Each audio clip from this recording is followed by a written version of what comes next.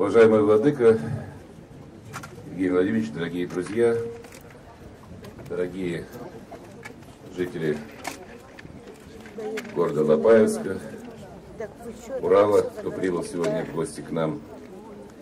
Я хочу сказать, что э, сегодня очень важное событие происходит.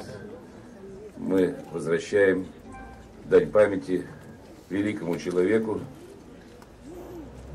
великомученице, великой княгине Израиль Федоровне, которая в 18 году будет как сто лет, отсюда, с Алапаевска, по сути дела, пошла на Голгоф. Это был э, удивительный человек. Она, кстати, возглавляла императорское православное палестинское общество после гибели ее мужа, великого князя Сергия Александровича. Ушла в монахини. Все, что у нее было, она отдавала на строительство школ, монастырей, детей. В годы Первой мировой войны сама работала, по сути дела, медсестрой, если говорить сегодняшним языком.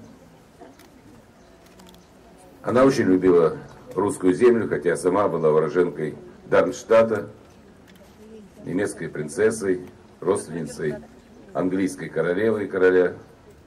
Прекрасно знала русский язык, приняла православие и, в принципе, могла уйти в 17 году после февральской революции из страны. Такие возможности у нее были, в отличие от царской семьи, на что она сказала, я ничего плохого не сделала русскому народу, я останусь здесь. Вы знаете историю, естественно, не буду здесь о ней говорить на этом митинге, великой княгини и с тем, кто с ней погиб. Сегодня важно другое. Важно, чтобы мы понимали и помнили, что любая революция – это в первую очередь трагедия. Как правило, трагедия для невинных людей, какие бы цели она ни ставила. Любое зло должно быть наказано, а справедливость должна восторжествовать во благо и молодежи, и ныне живущих, и тех, кого мы потеряли.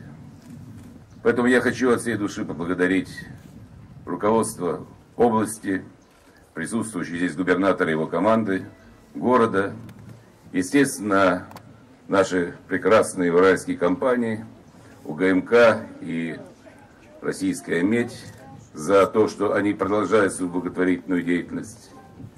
И в память о Елизавете Федоровне мне бы хотелось пожелать жителям города Алапаевска все-таки благополучия, достатка, уважительного к вам отношения. То, чему призывала и то, что всегда делала Елизавета Федоровна. Спасибо большое, что пришли сюда.